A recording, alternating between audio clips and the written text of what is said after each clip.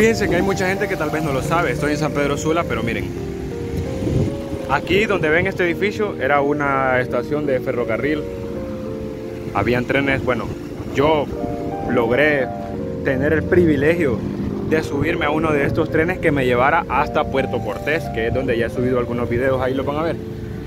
Pero miren, para que miren que no es mentira, ahí se miran las, las este, ¿cómo se llaman?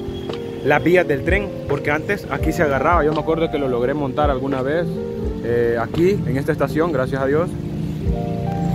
Y pues, nada, una belleza la verdad. Una belleza, una belleza. Lastimosamente, pues ya no hay trenes aquí en la zona norte, creo yo. Bueno, ya no hay. Y miren, ya está todo como malo, pues ya se degradó, ya no sirve, se está cayendo el techo, desgraciadamente. Ahí dice Clínica Médica Ferrocarril Nacional, creo que así era que se llamaba aquí, Ferrocarril Nacional. Se miran como una banca donde pues esperaba la gente el tren. Qué original haber sido estar aquí y ver para allá y decir, allá viene el tren, o va para allá. Qué bonito. Yo en algún momento pues lo hice, pero estaba pequeño, no pude como que observar y, disfrutar, eh, ¿cómo se llama? Mejor el, el viaje en tren. Miren ahora pues se ve esto, pues está cerrado, que me imagino yo no sé qué era ahí. Ahí menos, creo que ahí te vendían los tickets, creo yo. Miren, no lo sabía, mucha gente no lo sabía y les comparto porque San Pedro Sula es un lugar muy hermoso. Es más, miren esta, qué belleza. Representa la ciudad de los zorzales. Voy a tomar una foto. Y nada, eso es lo que hay, mi gente. Yo les comparto un poco. Miren, ahí miren las vías del tren. bueno, lo siento porque sale mi mano, pero no voy a hacer el corte. Quiero dejar el video lo más auténtico posible.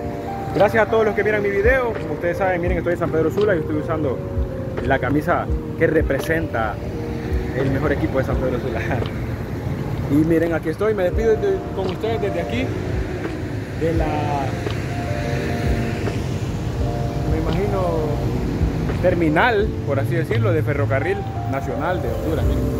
Gracias a todos, suscríbanse si les ha gustado mi video, compartan lo que crean que me ayudan mucho con eso.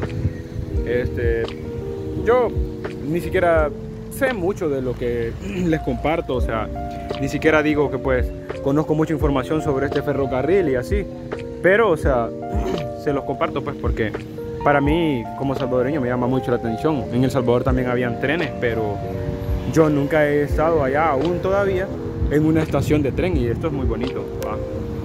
Lástima, lástima que se está degradando, que se está hundiendo, porque la verdad es de que, wow, yo pude darme el lujo de, de poder viajar desde aquí en tren hasta Puerto Cortés, pasar por todas esas colonias de Choloma hasta Puerto Cortés y venir de regreso. Fue algo muy épico. De hecho, ni siquiera me pude subir en, el, en los asientos en sí. Nos tuvimos que ir en un vagón con mi mamá, ¿me entienden? Pero fue algo que me lo llevo muy, muy presente y quise hacer un video sobre eso para compartirles, pues, ¿verdad? Y pues de que no tienen por qué tener este como miedo a la hora de venir aquí a San Pedro Sula, ¿me entienden? O sea, la gente dice que es peligroso, pero como les digo, yo siento que no, no creo. ¿Verdad? Y pues bueno, yo me voy y nada, gracias porque me mi video y, y pues yo continúo mi viaje. ¿Verdad? Desde aquí, desde la ciudad de los Orzales, San Pedro Sula.